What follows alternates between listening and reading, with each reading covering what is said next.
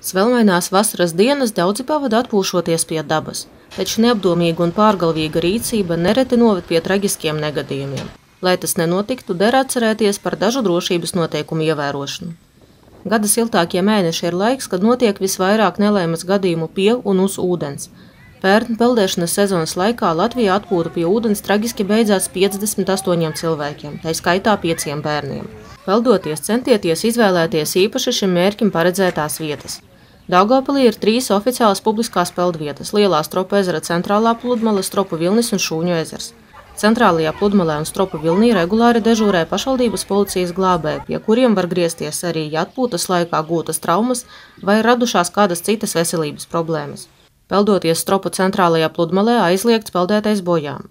Ja tuvumā oficiālas peldvietas nav, tad jāizvēlas vietas, kur krasti ir lēzeni un vēlams ar cietu pamatu. Nepazīstamā vietā uzreiz nedrīkst lēkt ūdenī. Ja pārkarsāt saulē, ūdenī jāiet lēnām, lai nebūtu strauja ķermeņa temperatūras maiņa, jo var sākties krampji. Upēs jāizvēlas vieta, kur ir vismazākā trauma, tuvumā nav atvaru vai citu bīstamu vietu. Alkohola lietošana un atpūta pie ūdens nav savienojamas lietas. Pēc VUGD datiem lielākā daļa cilvēku noslīkst būdami alkohola reibumā. Atgādinām, ka grādīgo dzērienu lietošana Daugavpils sabiedriskajās vietās, tajā skaitā pludmalēs, ir stingri aizliegta. Īpašu uzmanību atpūšoties pie ūdens jāvelta bērniem. Viņiem drīkst ļaut peldēties tik tālu, cik pieaugušais var labi redzēt un nepieciešamības gadījumā ātri piesteigties palīgā. Peldēt nepretējiem uz ūdens palīdzēs noturēties tikai speciālā peldveste. Savukārt piepūšamie peldlīdzekļi, tādi kā riņķi, matracīši, bumbas un citi bērniem noder tikai rotaļām, turklāt pieaugušo uzraudzībā. Ja redzat kādu slīkstam, atcerieties, slīcēja glābšana var apdraudēt pašu glābēju, tādēļ vispirms jānovērtē situācija un savas iespējas. Visdrošākā ir glābšana no krasta, nelēmē nonākušajiem pametot virvē iesietu glābšanas riņķi, bumbu vai kādu citu peldošu priekšmetu.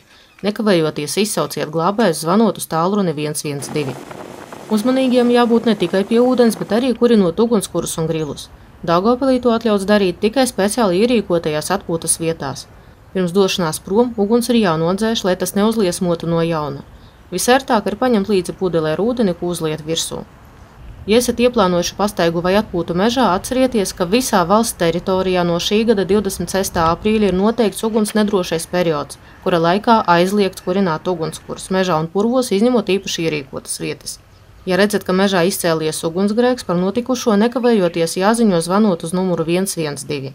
Esiet uzmanīgi, lai šī vasara paliek atmiņā tikai ar patīkamiem piedzīvojumiem.